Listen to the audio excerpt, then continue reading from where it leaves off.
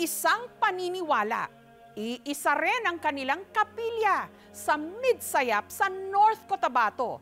Pero ang kanilang mga miyembro magkahiwalay. Oh, mag-Bible daw sila. Sila na lang. O man sila respeto, mamaulit tayo. kapilatan ka unta. Nagkagulo kamakailan sa kapilyang ito sa Midsayap North Cotabato sa Mindanao nung ang mga miyembro ng simbahan pinaghiwalay. Ang mga aktibong miyembro nakapwesto sa kaliwa. Ang mga hindi naman daw aktibo sa kanan. Kaya ang mga parokyano umalma. Bawal ang picture-picture mo. Bawal. Sila, nag-video, mag sila. Mura tao basurahan. Nabubulok kung hindi nabubulok. Nakalagay doon kasi, ang gustong magpirma sa kanila, yon ang maging aktibo. Ang dili aktibo, pahawa ang aktibo magpabilin. Kaya nagkagulo dito sa amin, oh, mag-Bible daw sila. Sila na lang. Ang Bible study nung araw na yon para lang daw sa mga dalawampung aktibong miyembro. Ang mga napabilang naman sa hindi aktibo, nag-walk out. Sa simbahan na nagsasabing lahat tinatanggap, nagkaroon nga ba ng diskriminasyon? O man sila respeto, mamaulit tayo. Ang kontrobersyal na kapilya narito sa barangay Nalindos, ang Santa Teresita Chapel. Isa sa mga parokyanong napabilang sa hindi aktibo, ang gurong si Joselito. Bata pa po ako, nag-participate na po ako sa mga activities sa chapel namin.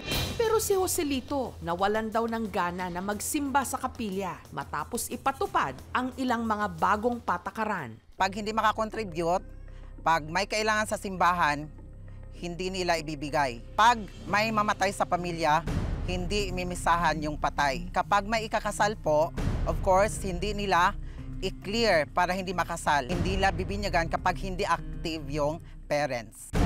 At ang pasimuno raw ng lahat ng ito, ang tumatayo nilang presidente. Siya talaga ang nag-lead kung paano yan naging worse yung chapel namin. Ngunit nung nabalitaan ni Joselito na naka-leave ang presidente ng kanilang kapilya, muli siyang bumalik sa kanilang parokya. My purpose is to attend Bible lang. Pero hindi niya lubos inakala na sa kanyang pagbabalik, ito ang sa kanya'y sasalubong. Gina-discriminate talaga kaming hindi aktibo. Tinitigan niya nila ng masamang titig talaga. So dito po siya makikita yung aktibo dito sa left side. And then yung deaktibo doon sa kabila sa right side.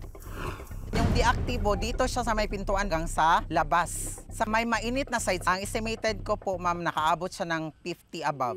Isa sa pinakamatandang miyembro na caretaker din ng kapilya, ang 82 anyos na si Lola Salud. Ako nag-serve sa simbahan 1990. Pero laking gulat ni Lola Salud nung pati siya igrinupo sa mga hindi aktibong miyembro. Kahi ubos lang akong nahitabo, ma'am.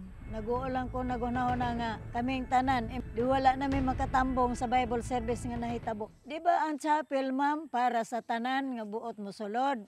Lalo pang uminit ang diskusyon nung napansin ng mga parokyano na ang imahe ng kanilang patron na si Santa Teresita nawawala. Asa tong birit Pag may hilingin ka sa kanya, ma'am, ibibigay niya. Nag-board exam ako, hindi ako nag-review pero nakapasa ako.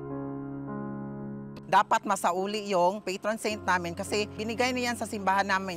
Pero ayon sa kanilang pangulo, ang di umano'y milagrosong imahen, hindi raw ninakaw. Sa diya raw niya itong iniuwi dahil ibinigay na raw ito sa kanya ng orihinal na may-ari. Neng, Neng, excuse me.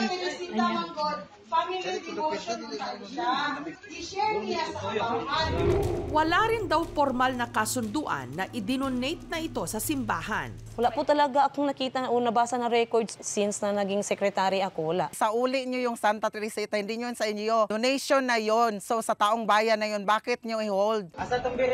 Ang diskurso lalo pang uminit sa open forum. Ang dami nyong pa-contribute, pa-donation. Bakit wala akong nakitang improvement sa simbahan? Kahit ang kisame. Kung masakit na yung ano ko, dibdib ko, nasa angry mood na talaga ako. May poste naman talaga doon sa chapel namin na bagong gawa. Siguro nilang nakita nila kasi hindi sila pumapasok ng chapel. Isang taon, isang beses lang kami nagabigay ng para sa chapel namin. Minsan, 100, 250. Per family, di naman malaki. Ang president namin, palabas ba yan siya ng sariling pera niya?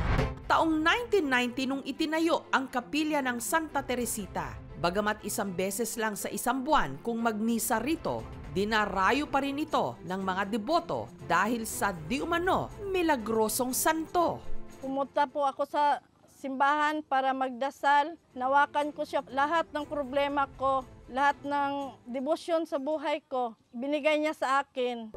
Pero ngayon, kanilang kapilya nakakandado na. Sila lang ang pwede pumasok kung gusto nila.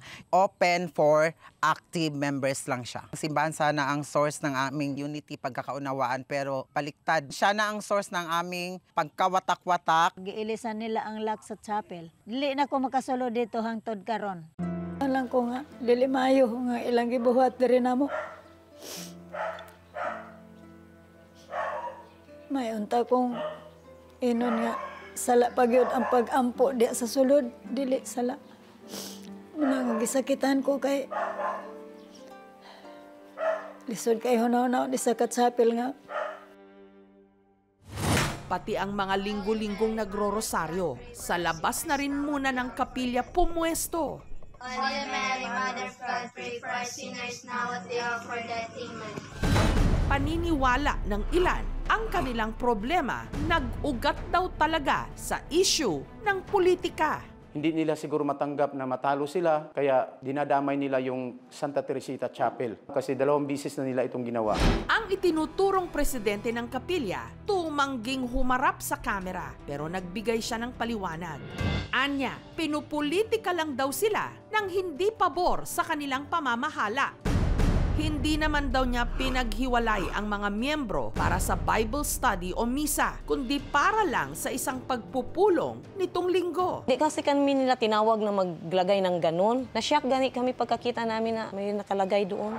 Inamin din nilang nasa kanila ang hinahanap ngayong imahe ni Santa Teresita. Pero ayon sa kanya, sila naman daw ang tunay na may karapatan dito. ang magiging mahirap dyan ay walang katunayan na talagang idinonate yung santo na yan. Pero sa kabilang banda, meron din tayong mga tinatawag na customs and traditions na considered din yan ng mga batas natin. Pwede namang i-enforce because of the traditions na kaugalian na nung lugar na yon. Ang gusot sa kapilya, agad idinulog ni Joselito sa kanilang kura paroko. Na-threat pa ako na patayin daw ako, patanggal sa DepEd. Kaya lumapit na rin siya sa barangay. Iba po yung simbahan at, at iba naman po ang barangay. Pero sa dahilan na nalagay na po sa alanganin yung peace and order situation ng barangay, kaya po ako sumali na dito. Nitong Webes, ang magkabilang panig, pinatawag sa barangay. Dinagsa ito ng halos isandaang mga miyembro. Kamo ang inyong tingog, mao nga dadon dito sa paris. Gipatawag mo aron ma- mapaabot ninyo unsay hinungdan ug unsay inyong katuyuan. Gusto mo eleksyon? Gusto mo balik ang mahal nga birhen. Pero ang tanong, sisipot kaya ang inirereklamo nilang presidente? Ang presidente wala Ang kanilang leader, no show. Nagsabi ito na magpapakita lang kung simbahan na raw ang magpapatawag sa kanya. Nag-eleksyon dahil mo, ma'am, wala na gini kabalo. Di nag-eleksyon dahil mo, wala na gini kabalo. Tinuod yun, daghan ang wala na kabalo at. Ang mga dating opisyales ng kapilya, hindi rin daw sang-ayon sa pamamalakad ng kanilang leader. punta ang atong kapilya dili inabot ang politik. Mura tao basurahan. Nabubulok kung hindi nabubulok. dapat ibalik nila ang berhen. Dili man na para sa ilaha lang. Para sa lahat talaga yun, ma'am. Hindi rin naman yun niutos ng Panginoon na i-separate yung aktibo at di-aktibo sa simbahan.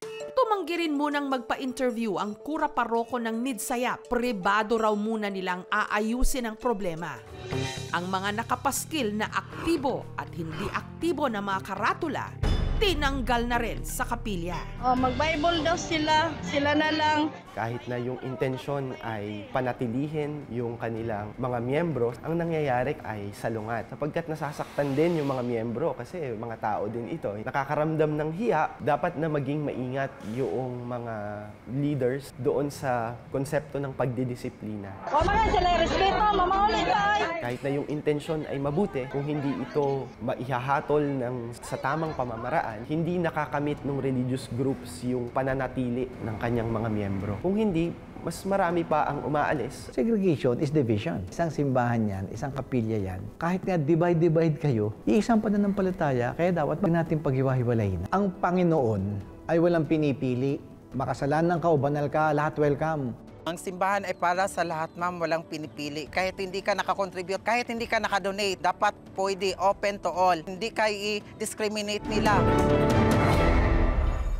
Thank you so much mga kapuso. Kung nagustuhan niyo po ang videong ito, subscribe na sa GMA Public Affairs YouTube channel. Don't forget to hit the bell button for our latest updates.